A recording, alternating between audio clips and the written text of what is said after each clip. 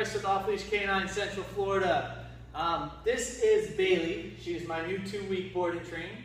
She is a two-year-old mixed breed. Um, Baylee doesn't listen very well to, to her owners or anybody. Um, when they're on a walk, it's not that fun. She's kind of distracted. She goes all over the place, does whatever she wants. Um, kind of your general, just doesn't want to listen and, and do anything that the owners want to. Uh, right now, I'm just going to show you what that looks like. Baylee, come. Baylee, come. Oh, good girl. Sit. Oh, good girl. Baylee, down. Down. Baylee, down. Baylee, down. Down. Baylee, heel. Heel. Baylee, heel. Heel. Baylee, place. Place. Baylee, place. Baylee, place. All right, so as you can see, she gets distracted. There's something going on outside, um, so she kind of pulls her attention away. I'm gonna get her obedience on point. I'm gonna work on a bunch of different things, her leash manners, um, her door manners, house manners, kind of everything that we work on, we're gonna get that for her. I look forward to showing you the progress over the next two weeks.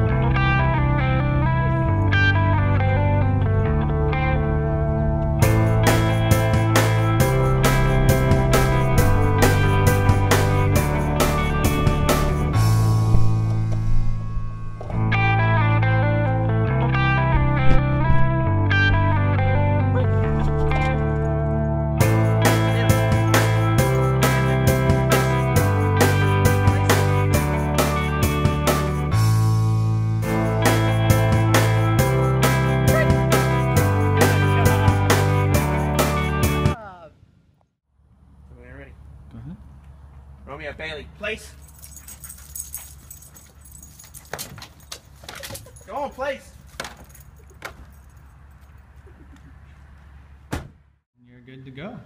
I'm Lindsay, this is Dan, this is Baylee, and this is Romeo.